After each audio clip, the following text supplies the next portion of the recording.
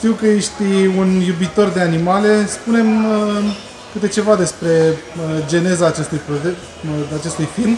Știu că a fost inspirat de, sau mă rog, a plecat ideea de la o poveste reală.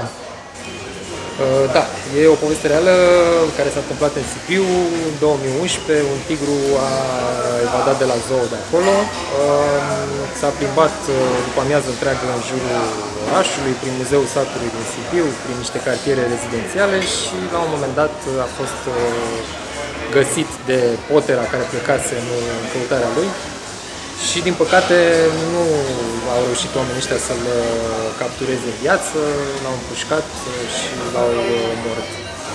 S-a dat știre la TV, am văzut-o na, la buletinul de știri, nu mai știu, era Andreea Esca sau ceva care prezenta uh, această scurtă știre, dar cu niște imagini foarte uh, de impact pentru mine în momentul ăla, cum ziceai și tu, fiind mare editor de animale. Am văzut tigrul ăla mort, întins într-o pădure din asta, cred că era noiembrie, era și pădurea arăta destul de, de trist, așa. O pădure foarte românească, foarte familiară, niște personaje în jurul tigrului foarte, foarte familiare, polițiști, pompieri, tot fel de gură casă care își făceau selfie-uri cu tigrul ăsta, cadavrul lui. Și era un contrast foarte interesant între animalul exotic și maestos mort acolo și toată lumea asta pe care o cunoșteam prea bine, o lume na, balcanică, cu derizoriu ei de rigoare. Și am zis, băi, eu o să scriu ceva despre chestia asta la un moment dat.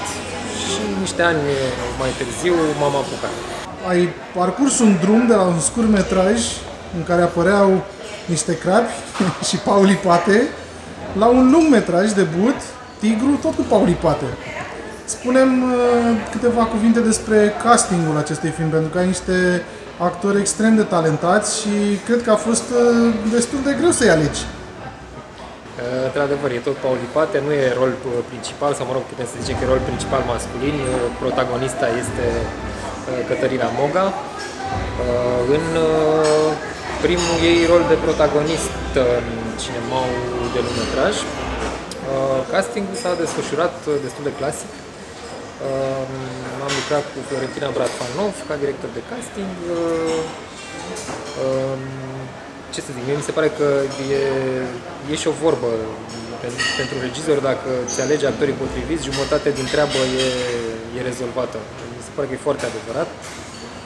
Așa am încercat și eu să aleg cei mai buni actori. La rolul personajului Bujor, care, în care a ajuns să fie Alex Vera. A fost un pic mai complicat pentru că trebuia să fie un personaj de o anumită factură, cu o anumită apariție, prezență, mă rog, uh, cineva care deține un tigru și îl ține în, uh, într-o pușcă în spatele vilei, trebuie să arate într-un fel. Și după ce am văzut câțiva actori care s-au descurcat foarte bine, mi-am dat seama că ceva lipsește, trebuie un... cumva se simțea că sunt, uh, sunt actori și atunci m-am gândit să merg și un pic uh, în zona de neprofesioniști în ghilimele și m-am gândit la Alex Vela, l-am chemat, uh, l-am chemat la probă, s-a descurcat foarte bine, ne-am înțeles și cam asta a fost. Știu că există o legătură între De Frères, al lui Jean-Jacques Hano, Life of Pi, al lui Yang Li și Tigru, al tău. Care este această legătură? Legătură e personajul, personajul principal non-uman, ca să zic așa, uh, tigrul nostru. Uh, am, am ținut foarte mult să avem uh, numai animale reale în film, să nu lucrăm deloc cu 3D. Tigresa principală, pentru că au fost doi tigri care au jucat, se numește Min, Uh, și a jucat într-adevăr când era pui în De Frera lui uh, Jean-Jacques Anon și apoi în mult mai celebru Life of, Life of Pi. Uh, iar Tigru e posibil să fie filmul ei de retragere. Deja e un tigru destul de în vârstă, dacă nu greșesc, are vreo 15 ani așa. Și da, a avut și o dublură mai tânără, pentru o secvență mai dificilă din punct de vedere fizic, o tigroaică de doar 2 ani, foarte tânără și foarte fresh așa.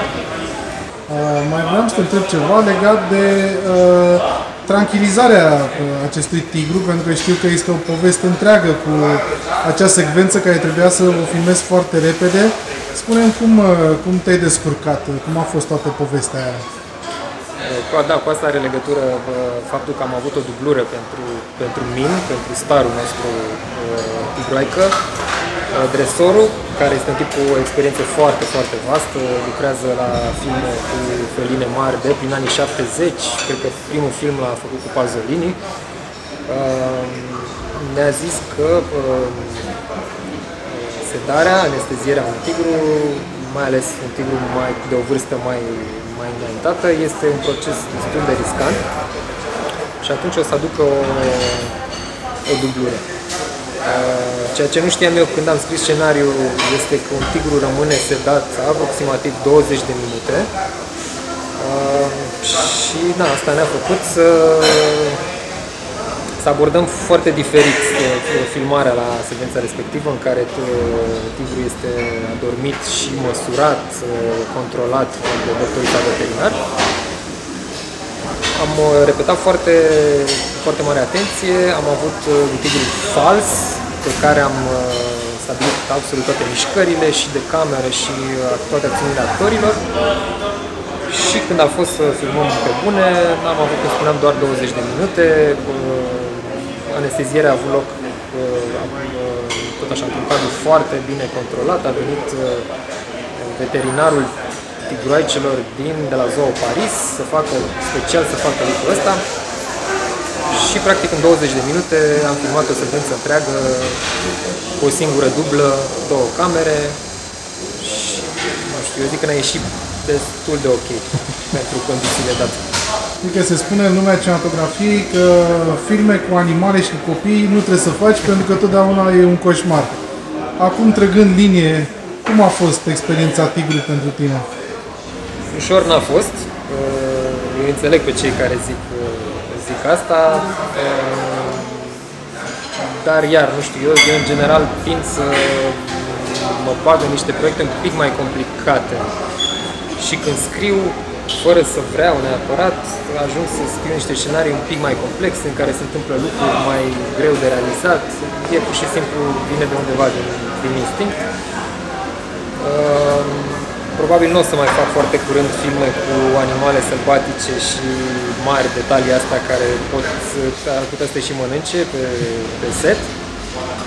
Dar sper să vă placă, din 29 septembrie filmul intră pe ecrane, în aproape toată țara, știm prea bine că na, sunt locuri în țară că, în care nu sunt cinematografe, dar noi încercăm să ajungem cam la toată lumea, dacă nu uh, mergem pe calea clasică, o să încercăm să facem o caravană și să facem în așa fel încât să vadă cât mai mulți oameni filmul ăsta și sperăm să le și placă.